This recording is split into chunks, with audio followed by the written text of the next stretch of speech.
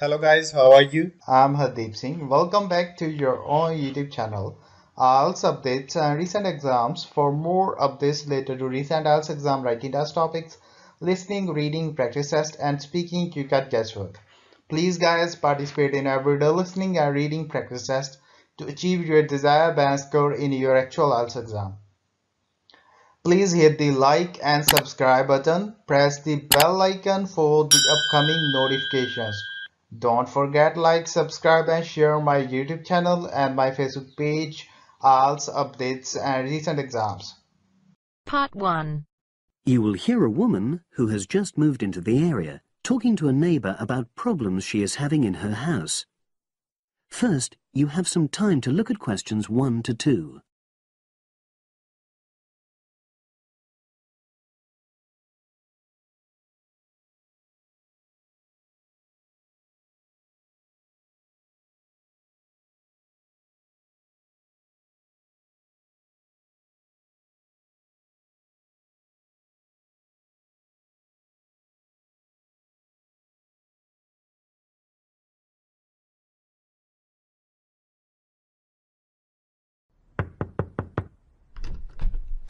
Oh, hi Ruth.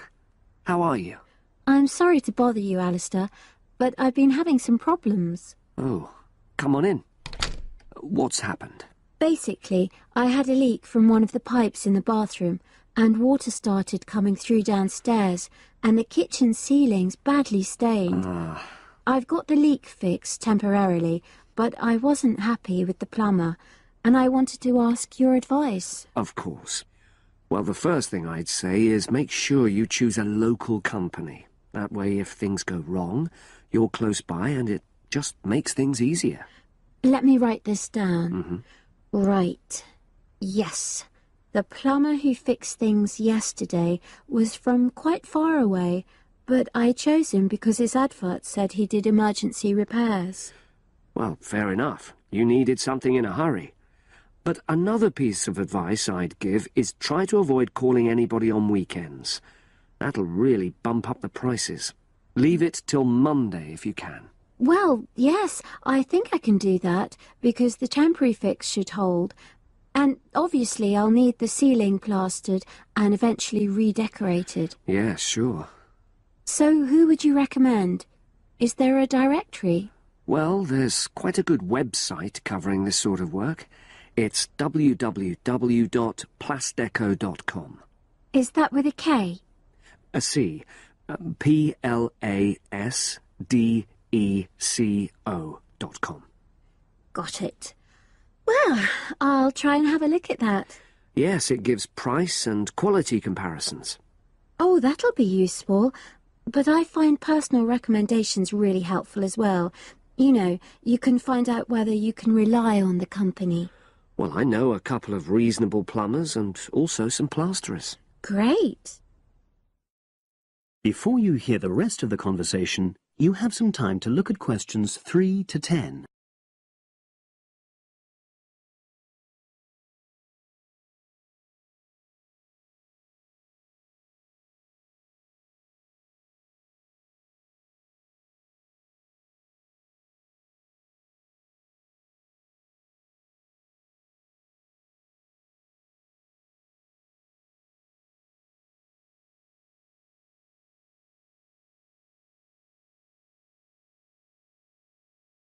There's a company called Peaks Plumbing.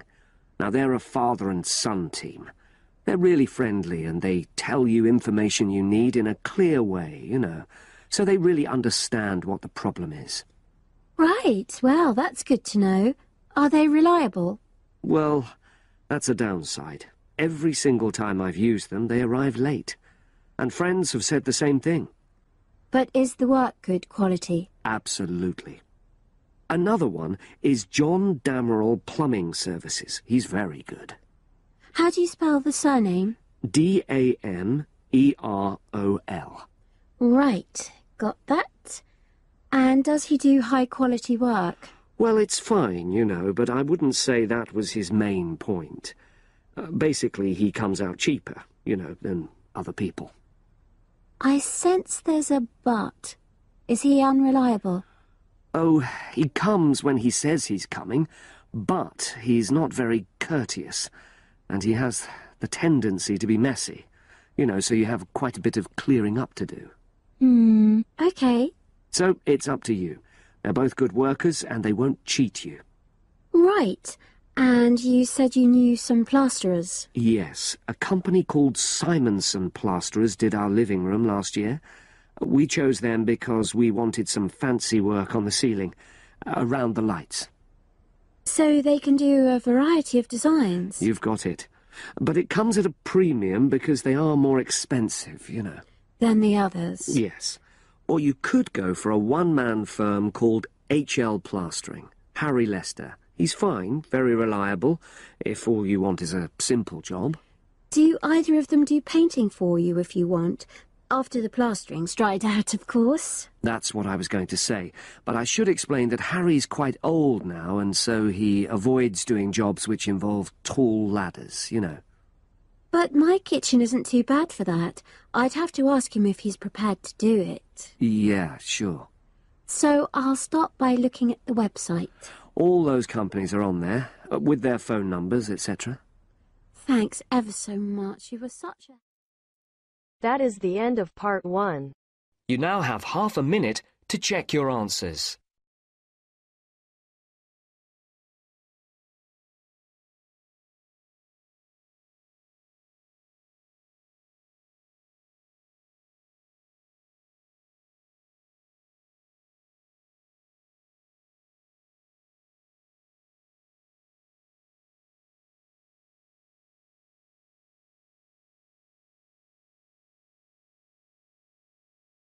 Now turns to part two. You will hear the education officer in a museum giving a talk to school students who are about to start a one-week work placement in the museum. First, you have some time to look at questions 11 to 15.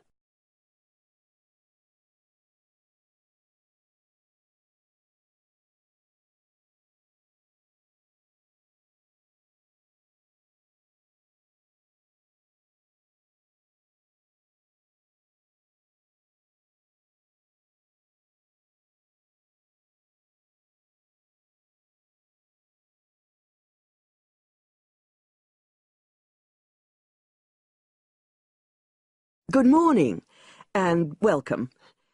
We're really pleased that you're going to be joining us next week for your work placement. Now, each of you will already have met the member of museum staff assigned to supervise you. In this short talk today, I'll be giving you more general information which will be relevant to all six of you. Your normal working day is 9 to 5 p.m., but on Monday, because it's your first day, we'd like you to arrive at quarter to nine. Please note, though, that you'll finish at the usual time. A lot of you have been asking what you should wear for work. Well, you may have noticed that we're not exactly a formal institution, so you'd really be out of place if you wear smart attire like a suit. If you go out on a trip with us, then we'd like you to wear a museum cap. It has our logo on, and we feel it helps people recognise you. But on a day-to-day basis in the museum itself, we say put on your own casual clothing because you'll be doing lots of dusty, messy work. Now, we don't have an enormous number of rules, but work placement is an excellent preparation for the real world of work, and we expect you to be very punctual and reliable. If you're not well, or there's been a hold-up, then what we ask you to do is ring the museum receptionist. He will be in the museum well ahead of opening time, and he'll inform your own personal supervisor in the museum. If you're away for more than one day, we'll inform your school tutor. They'll obviously need to make a note of your absence, and follow up if necessary. But most of all, we hope you really enjoy yourselves during the placement. Students say they have a lot of fun, whether it's working with kids in our art workshops held every Monday, or, the most popular, when they go out on our outreach work to residential homes, recording elderly people's memories of school days for our oral history project. So, we hope you feel excited by the prospect of starting next week and well prepared. Your personal supervisor will be there to help you with our health and safety requirements when you start next week, and your supervisors will also brief you about the background to the museum, summarising all the huge amount of information on our website. In the next couple of days, it might be worthwhile if you get hold of evaluations and other notes made by students who've worked with us before. You can get a lot of pointers from them. Before you hear the rest of the conversation, you have some time to look at questions 16 to 20.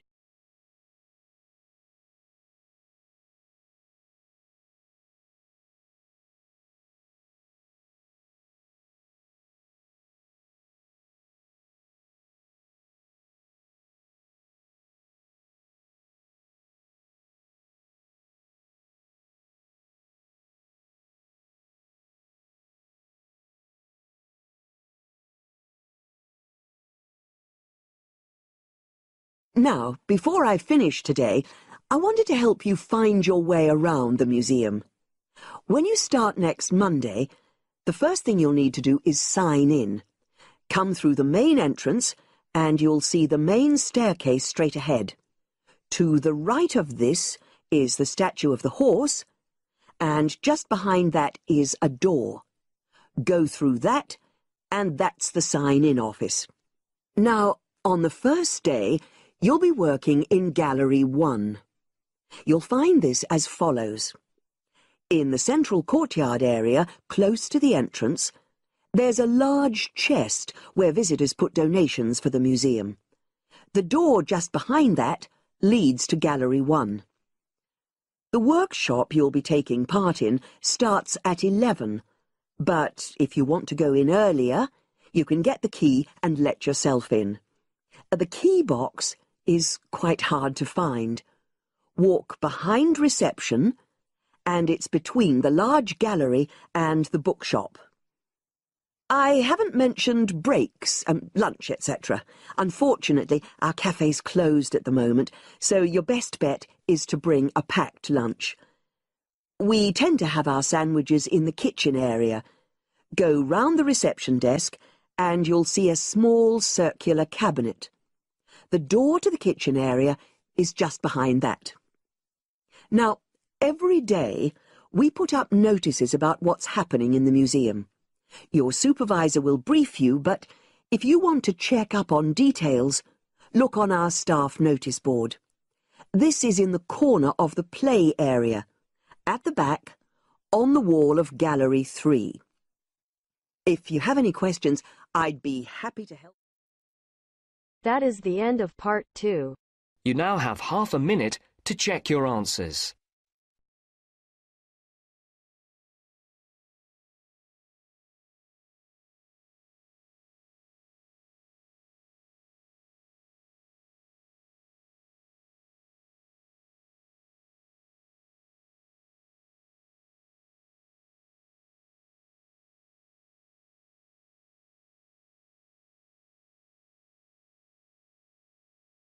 Now turns to part three. You will hear three students, Steve, David and Susan, discussing the different courses they attend. First, you have some time to look at questions 21 to 26.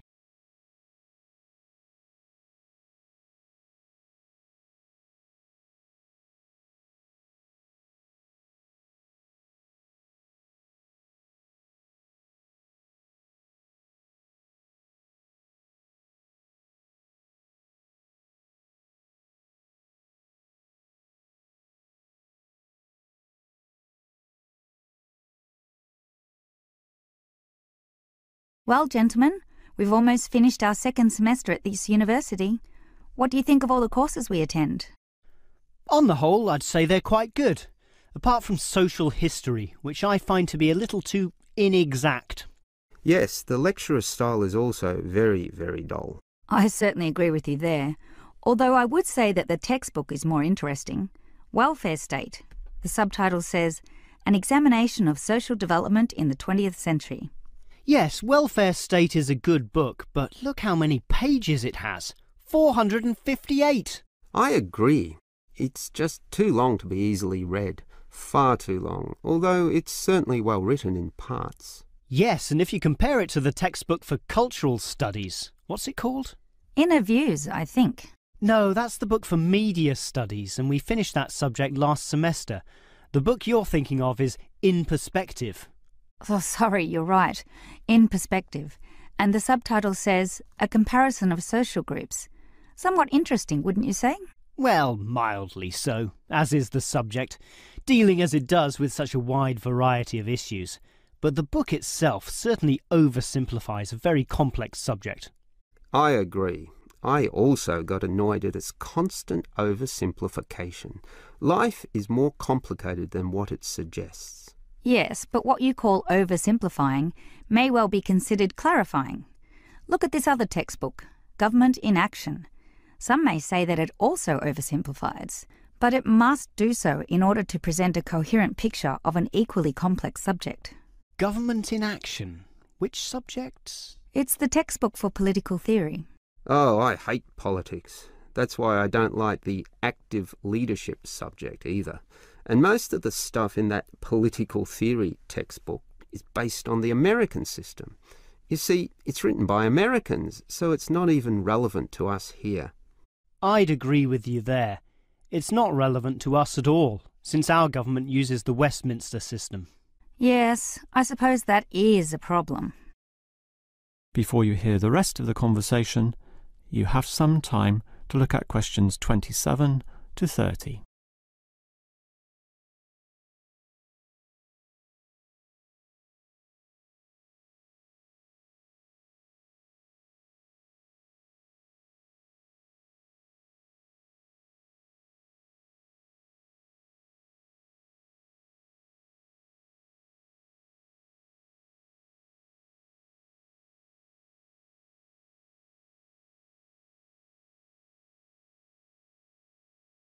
Well, it seems we all have certain criticisms about the textbooks we're using, but at the same time, we all like some elements, at least, of the subjects we're studying. What's your favourite subject, David? I'm not sure. I like political theory, but. Cultural studies is by far the best, even better than political theory, which I also like, but just not as much. Why do you say that, Steve? I was thinking perhaps social history is worth considering as best. Social history is good, but I made my choice because the subject is relevant to this modern society. But so is social history, and I like the historical element, which the other subjects lack. Even political theory examines history only briefly and in a very narrow way, so I'd say social history is the most rewarding for me. What about you, Susan? I think social history is certainly very good, but political theory is, in fact, the best, since basically every human system boils down to politics. So, despite a certain irrelevancy in the details, the basic message remains as relevant as ever. Oh, Susan, you can't be serious. Let's ask Olive again. She's over there. Olive! Which subject do you think is the best? Ah, a difficult question. I'm very interested in culture, so cultural studies is certainly my cup of tea. But I'm politically active also, and hope to pursue this as a career. So political theory would be the one I'd pick. I don't believe it. Even with that irrelevant textbook? Don't listen to him, Olive. You have a right to your own opinion. That is the end of part three. You now have half a minute to check your answers.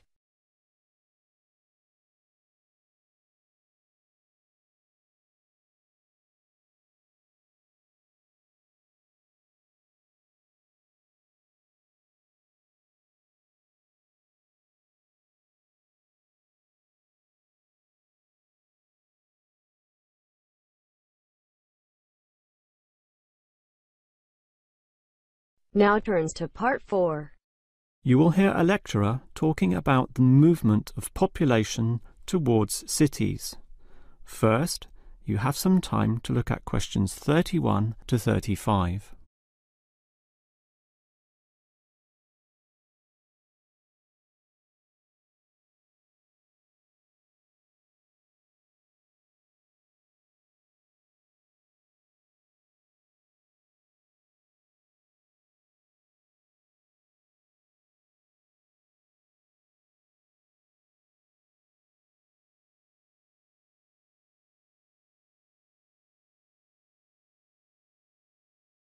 If you consider the farms of old, the type your father or grandfather grew up on, they were small and labour intensive, requiring lots of workers. In addition, they often had a diversity of products, be that animal or vegetable, say cows and sheep, or oranges and lemons, with some peaches and a few chickens on the side for the production of eggs. The many workers involved raised their families who needed products and support services, such as medical clinics and schools, so the small country towns had mercantile activity, storefronts and community participation with all ages present and a distinct town culture. And how it has changed. Travel to any small country town in virtually any developed country and you will often see that these places are now somewhat forlorn and deserted, lacking life and vigour. Many of the residents have long since moved towards the big cities, so the country areas have become depopulated and their downtowns empty. This phenomenon is so predictable and widespread that it even has a name rural flight or rural exodus, and it has produced some fairly predictable problems. As for the causes of rural exodus, the most obvious is the industrialisation of agriculture. This comes in two aspects, one of them being monocultural farming practices. What this means is that it is now more efficient to have one product and focus on its needs almost exclusively. So, for example, animal husbandry will usually involve a single type of animal, say pigs, but with huge factory farming techniques, or, in other words, the second aspect, economies of scale. This means instead of 200 pigs, there'll be 2,000, tightly fitted into small pens or cages with high density waste disposal and automatic feeding systems. Yet, despite this huge size, it can all be controlled by just a dozen farm workers pushing the right button. You might not like it, but in a competitive market, the cheaper the overheads, the better, and one can't argue with market economics. It's simply the way of the modern world, and it has changed the face of rural districts mostly for the worst.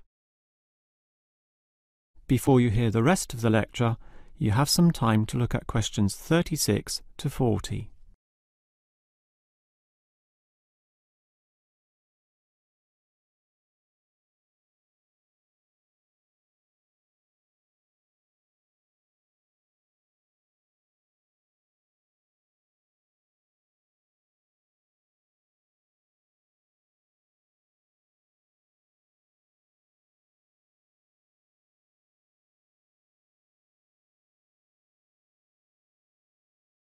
We can talk at length about the problem of rural exodus, but what about solutions?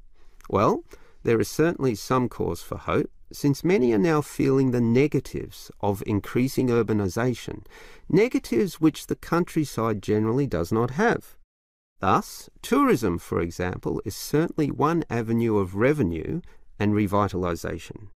The most important consideration here is that the local residents themselves participate in developing such initiatives and deciding what happens, since outsiders, be they state government or city-based planners, do not fully understand the local settings, the possibilities which may be on offer, or the town culture, since even small rural areas can be highly distinctive from neighbouring ones. For example, the Daylesford area has developed a tourist industry based on the natural springs there, putting forward the angle that this water is relaxing and revitalising for the health. There has been the development of spas, saunas, and small scale accommodation within its picturesque hillsides. And another solution is to utilise the predominant local product. This takes advantage of the fact that many city people are developing a dislike for factory produced and packaged foodstuffs. They are becoming interested in products that can be sold directly to them at a cheaper price while preserving all the freshness from the tree or animal. It is important here that the country area is not only characterised by a specific product, but markets this idea well. For example, many areas of country Victoria have developed widespread grape growing and winemaking facilities and encourage wine tasting tourism, now a thriving industry with an international patronage. Similarly, Harcourt is famous for apples, Shepparton for mature cheeses, and Mildura for its citrus products. Such strategies, done well, give hope that rural areas can revitalise somewhat and once again be lively and interesting places to live in. That is the end of part 4. You now have half a minute to check your answers. So guys, don't forget like, subscribe and share my YouTube channel and my Facebook page. IELTS updates and recent exams. For more updates related to recent IELTS exam writing test topics, listening, reading, practice test and speaking, you got guesswork. Please guys participate in everyday new IELTS listening and reading practice tests to achieve your desired band score in your actual IELTS exam. For more IELTS material, visit my official website www.ieltsupdatesandrecentexams.com. The link is given below in the description. If you need PDF files of latest IELTS material, then please join my Telegram channel. So guys, please write your score below the comment section. Again, thanks for listening. God bless you all guys. Stay tuned, stay safe.